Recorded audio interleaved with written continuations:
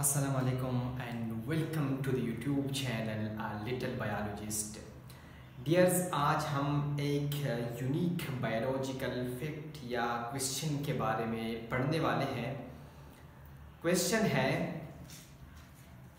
how the male sea horse become pregnant and give birth to baby sea horse एक fish है। ये male sea horse जो है, वो किस तरह प्रेग्नेंट हो जाता है और एक बच्चे को जन्म देता है?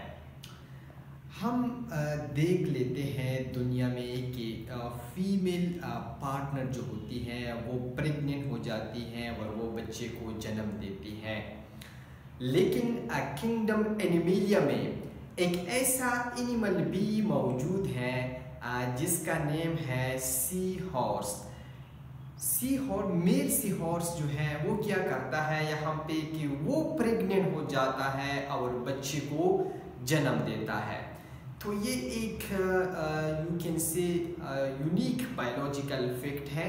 आज हम इसके बारे में पढ़ेंगे कि किस तरह मेल सी हॉर्स प्रेग्नेंट हो जाता है और बच्चे को जन्म देता है। तो आइए व्हाइट बोर्ड की तरफ़ देखते हैं उसकी मैकेनिज्म के किस तरह जो है वो प्रेग्नेंट हो जाता है। जो मेल सी हॉर्स होता है, उसकी जो एब्डोमिन होती है, उस एब्डोमिन में एक पाउच होता है। एक तेला होता है। क्या होता है? एक पाउच या एक तेला होता है? यहाँ पे मैंने मेंशन किया है पाउच जो कि तेल के साथ जो है बिल्कुल नज़दीक होता है। अब जब ये male sea horse female sea horse के साथ मिलता है तो इसको हम कपुलेशन कहते हैं। तो इस कपुलेशन के दौरान फीमेल सी हॉर्स क्या करती है कि वो एग्स को मेल सी हॉर्स की पाउच में ट्रांसफ़र करती है। यहाँ पे क्या करती है? फीमेल सी हॉर्स अपनी अनफर्टिलाइज एग्स को मेल सी हॉर्स की पाउच में ट्रांसफ़र करती हैं। ठीक है, यहाँ पे क्या करती हैं? एग्स को ट्रांसफ़र करती हैं। अब मेल हॉर्स को एग्स मिल चुके हैं। उसकी पाउच में एग्स क्या है? मौजूद है। अब ये सी मेल सी हॉर्स क्या करता है? कि स्पर्म को पाउच की तरफ़ बेचते हैं, उसकी तरफ़ सेंड करते हैं। जब यहाँ पे पाउच में स्पर्म आते हैं तो ये स्पर्म पाउच में मौजूद एग्स को क्या करते हैं? फर्टिलाइज करते हैं। फर्टिलाइजेशन होने के बाद मजीद एग्स की डेवलपमेंट मेल सी हॉर्स की पाउच में स्टार्ट हो जाता है। जिस तरह जो है फीमेल ह्यूमन में आ, जो डेवलपमेंट होती है बिल्कुल इसी तरह जो है यहाँ पे भी एग्स की डेवलपमेंट स्टार्ट हो जाता है। तो यहाँ पे जो मेल सी हॉर्स है वो प्लेसेंटा के ज़रिए से आ, क्या करते हैं कि ऑक्सीजन और न्यूट्रिएंट को पाउच की तरफ़ ट्रांसफ़र करता है।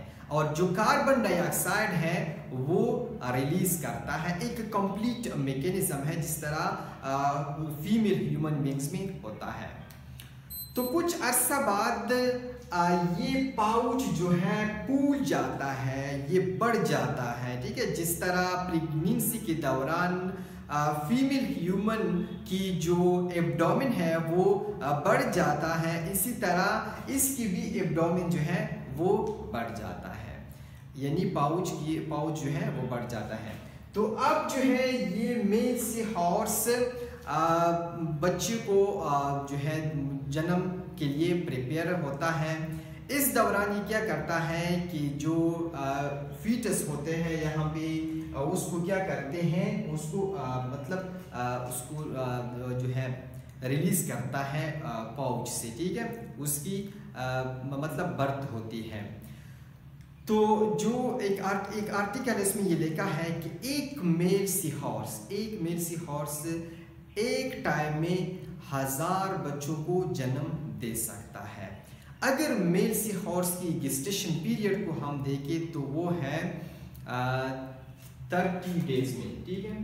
थर्टी डेज़ उसकी गेस्टेशन पीरियड है। मतलब हमल ठहरने का जो टाइम है, वो कितना है? वन मंथ है या थर्टी डेज़ है। तो ये एक यूनिक फैक्ट है मेल सी हॉर्स के बारे में कि यहाँ पे मेल सी हॉर्स प्रेग्नेंट हो जाता है और बच्चे को जो है जन्म देते हैं।